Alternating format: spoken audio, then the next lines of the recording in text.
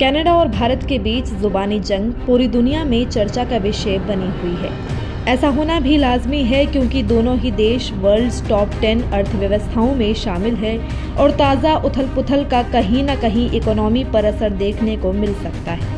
हालाँकि अगर कनाडा की इकोनॉमी की बात करें तो इसकी गाड़ी अमेरिका के भरोसे चलती है। लेकिन भारत के साथ भी इसका बड़ा कारोबार है जिस पर संकट के बादल छाए नज़र आ रहे हैं। कनाडा की इकोनॉमी दुनिया की टॉप टेन अर्थव्यवस्थाओं में शामिल है। आईएमएफ की वर्ल्ड इकोनॉमी रैंकिंग 2023 लिस्ट के मुताबिक 2.2 ट्रिलियन डॉलर की जीडीपी के साथ ये नौवीं सबसे बड़ी अर्थव्यवस्था है। प्रति व्यक्ति आय की बात करें तो कनाडा की कनाडा पर कैपिटा इनकम छियालीस डॉलर है। देश की इकोनॉमी में सबसे बड़ा योगदान प्राकृतिक संसाधनों के दोहन और निर्यात का है। कनाडा, अमेरिका, भारत समेत बड़े देशों में कई ज़रूरी चीज़ों का निर्यात करता है। कनाडा के कुल एरिया में से एक बटा बारह लैंड खेती किसानी के लिए उपयुक्त है। हालाँकि अगर इस सेक्टर से आने वाले रोज़गार का देश की कुल वर्कफोर्स में हिस्सा देखें तो ये चार फ़ीसदी का योगदान देता है। वहीं कनाडा के क्षेत्रफल का आधा हिस्सा जंगल है। ये क्षेत्र देश को लकड़ी, पल्प और कागज़ के लिए पर्याप्त संसाधन उपलब्ध कराता है और बाकी उत्पादों के संयुक्त निर्यात की तुलना में फॉरेस्ट प्रोडक्ट्स कनाडा के निर्यात व्यापार का एक बड़ा हिस्सा है। कागज़ और पल्प के निर्यात में कनाडा टॉप लेवल पर है। कनाडा खनिज संसाधनों यानी मिनरल रिसोर्सेज से समृद्ध है। बड़े एरिया को कवर करने वाले कैनेडियन शील्ड, वेस्टर्न कॉर्डिलेरा और अपलाचियंस के चट्टानों में बड़े खनिज भंडार हैं। उत्तरी कनाडा की ग्रोथ में माइनिंग एक प्रमुख कारक है। कनाडा लंबे समय से uranium, zinc, nickel, potash, sulphur, cadmium और टाइटेनियम की प्रोडक्शन में दुनिया के टॉप प्लेयर्स में शामिल है। इसके अलावा लोहा, कोयला, पेट्रोलियम, सोना, तांबा, चांदी, सीसा समेत बाकी मटेरियल्स का भी प्रमुख उत्पादक है।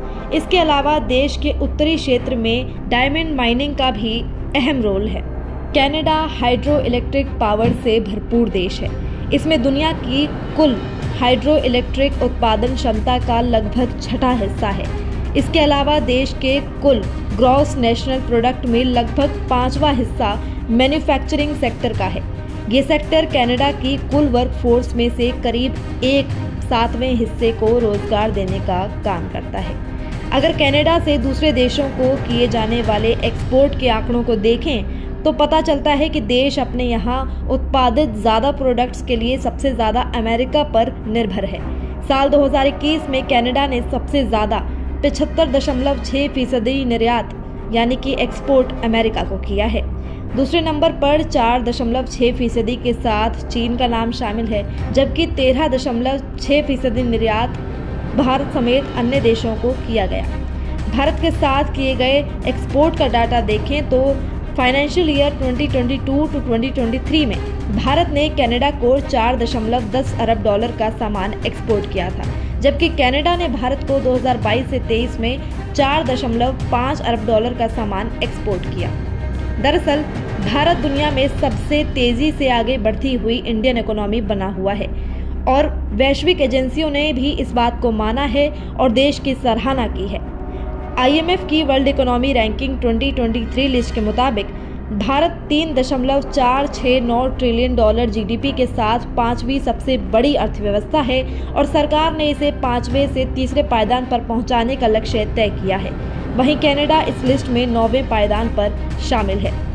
फ़िलहाल, इस वीडियो में इतना ही। देश दुनिया से जुड़ी तमाम न्यूज़ अपडेट्स के लिए आप जुड़े रहें सहारा समय के डिजिटल प्लेटफॉर्म के साथ। धन्यवाद।